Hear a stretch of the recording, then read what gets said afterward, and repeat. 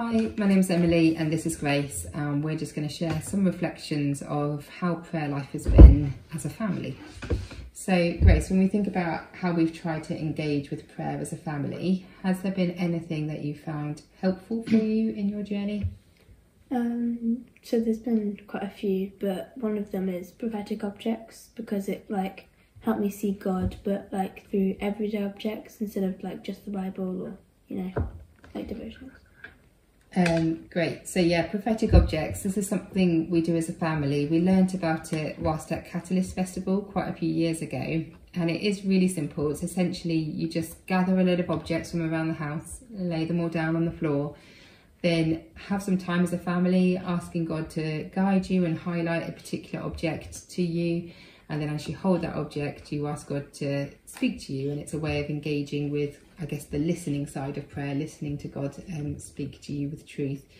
Um, and so on one occasion, uh, my son picked the uh, wet wipes here, and he said, when we asked God to speak to him about it, he said he thinks God's saying that he's going to wipe away our tears. And it was really encouraging because we could then show him in the Bible how that's true, how it does say in Revelation that God's going to wipe away our tears.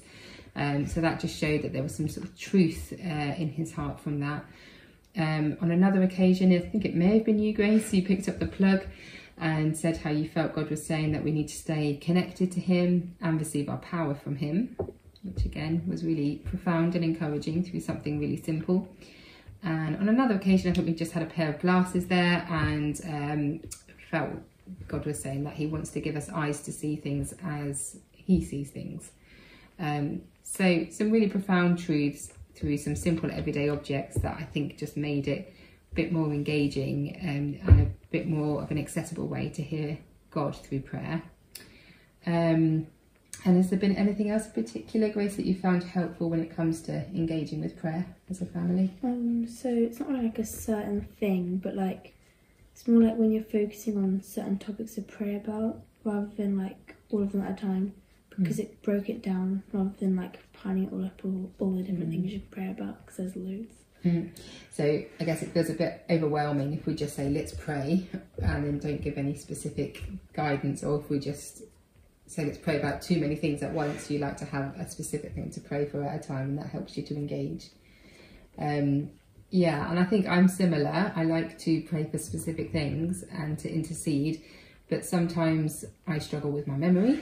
so there's an app that I use called PrayerMate, which I find really helpful because then if I've committed to praying for something, I can log it on my PrayerMate and it reminds me. And um, on PrayerMate, you can create lists for things that you pray for.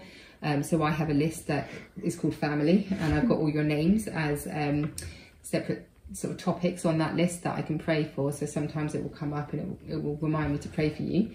Um, and another thing we've started getting the habit of doing as a family is at the start of term, we'll ask the kids what they would like prayer for, and they'll give us a few specific prayer points. And I, again, I log that on my PrayerMate app and pray throughout the term for those things that they've requested. And I think we've seen real encouragement with that because the kids have seen that I am praying and have sort of been faithful to that promise. And then I think we've seen real answer to prayer as well. So the things that they've asked for prayer for at the start of term, God has answered, and that's been really encouraging and helped to build faith.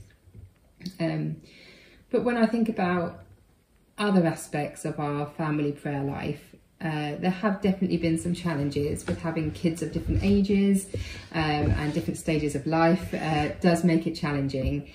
We've always tried to have some focused devotional time built into our weekly routine with mixed successes perhaps.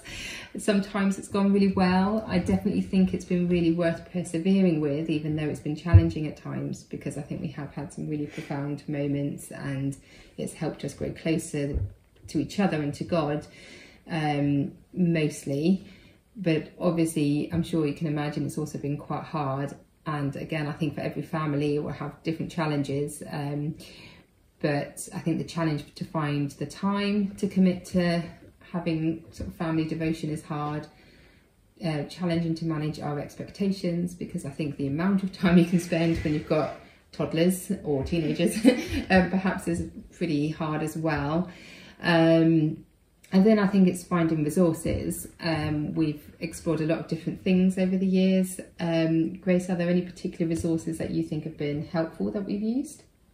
Um, yeah, so there's this one, which is Purpose Driven Life, which is quite good because it has like a Bible verse and then it has some like passage about it, like down there, and then it gives you like a prayer about the passage.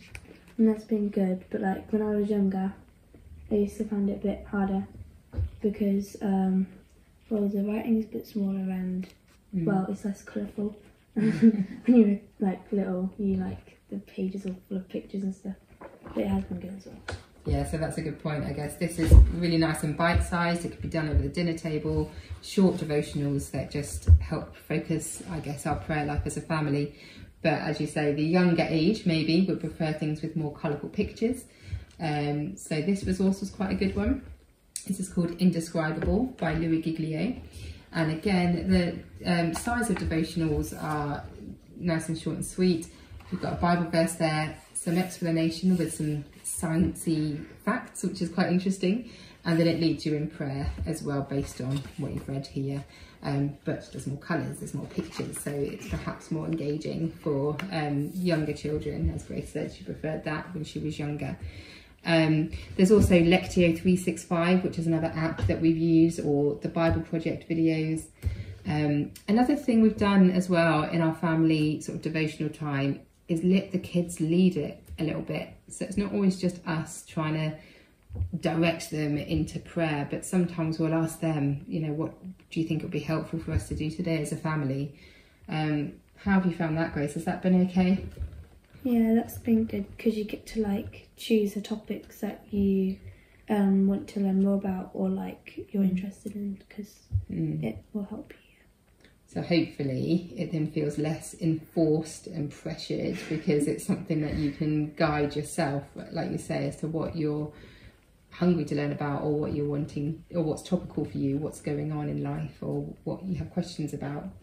Um, and obviously for our youngest member of the family who is quite a lot smaller, um, again it will be adapted to what he wants and the week that he's sort of leading it. Um, so often that involves watching a um, beginner's Bible cartoon of a story that he likes. Um, I think his favourite one is Jonah at the moment, which seems to have been popular as well. You liked that when you were little too.